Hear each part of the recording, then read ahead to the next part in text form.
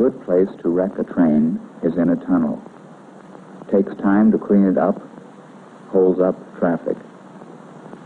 The trick is to make the shot after your target gets in the tunnel. The mole takes care of that.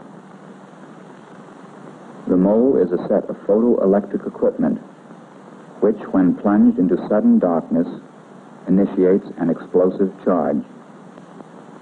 It consists of a photoelectric cell, the eye of the mole, a relay unit or amplifier, and a special electric detonator.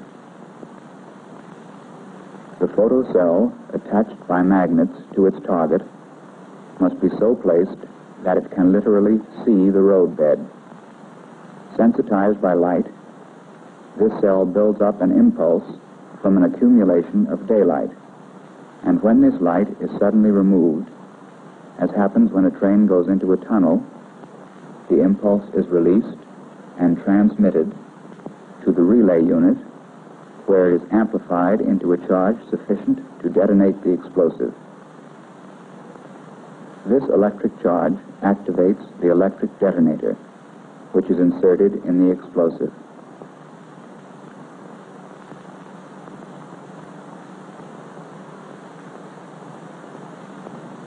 Before using the mole, however, a test run was made to find out where to place a charge to get the most complete wreck.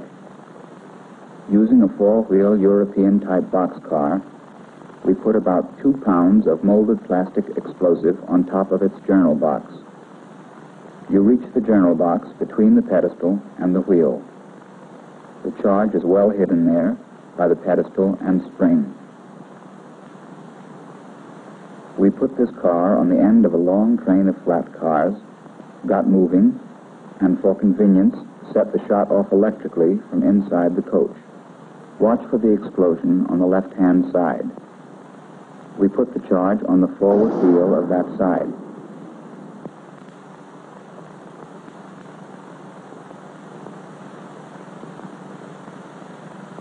It shattered the wheel all right, but didn't wreck the car. The coupling didn't break, and the car dragged several hundred feet before the train's brakes stopped it. The dragging pedestal damaged the ties. The broken wheel. The other wheel on that axle derailed. The rear wheels stayed on the track. It was decided that we could have done more damage if the coupling at the forward end of the car had broken. It's the standard European turnbuckle coupling with hook and link. To make sure of its breaking in the next run, we taped a pound of plastic explosive to the drawbar and put the knotted end of a primacord in it. A charge was placed on the pedestal as before, and the other end of the primacord put in that. The soft metal keepers protecting the magnets of the photocell come off. And to be sure of a good contact for the magnets, it's a good idea to scrape away the paint and rust on the inside of the pedestal. The electric detonator goes into the explosive. The relay unit sits on top of the charge and is fastened down with tape. Pull the arming pin and shove off. The charges are in the forward end of the third boxcar. They were set off by the mole, responding to the darkness of the tunnel.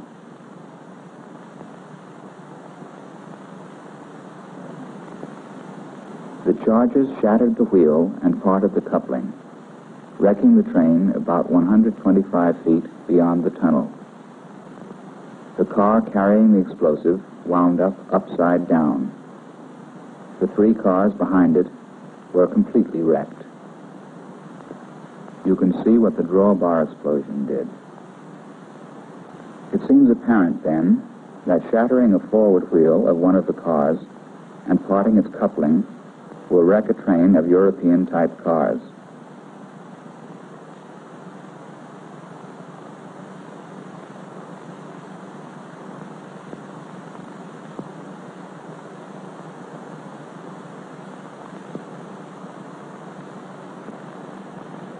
Cut the axle, we used a linear-shaped charge containing six pounds of cast 50-50 pentolite.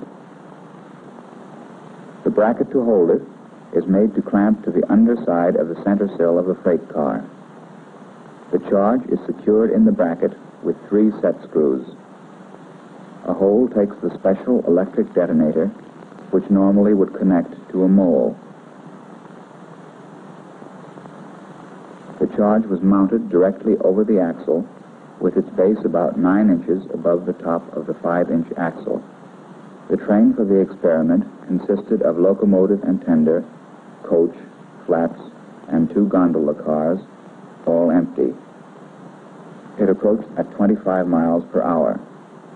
The charge is under the last car, above the rear axle of the front truck.